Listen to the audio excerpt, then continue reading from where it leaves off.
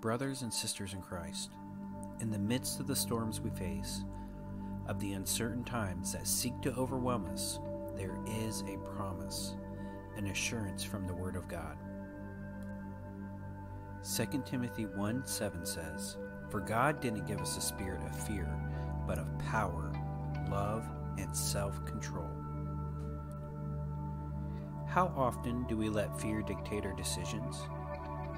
How often do we let anxiety rob us of the joy and potential of the present moment? But today, let's shift our perspective. Let's take a moment to invite the presence of the one who promises power, love, and self control.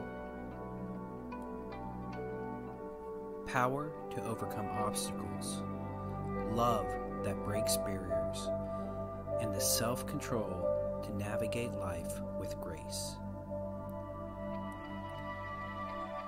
Let's pray. Heavenly Father, we come before you today, carrying the weight of the worries and fears that burden our hearts.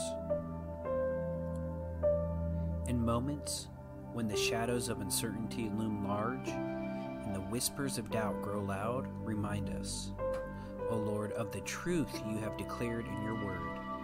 For in 2 Timothy 1 7, you have proclaimed, For God didn't give us a spirit of fear, but of power, love, and self control.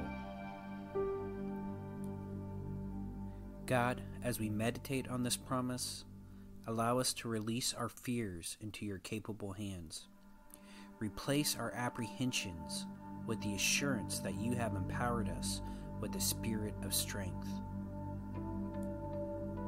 Let our interactions be governed by divine love, and in moments of temptation or impulsiveness, grant us the gift of self control through the Holy Spirit.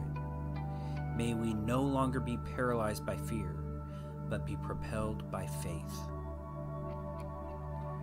In the face of challenges, let us remember that the same Spirit that conquered the grave lives within us, giving us the power to overcome, the capacity to love unconditionally, and the wisdom to act with restraint. Banish the doubts that seek to derail our destiny. Illuminate our paths with the light of your presence, and let your peace be the anchor for our souls.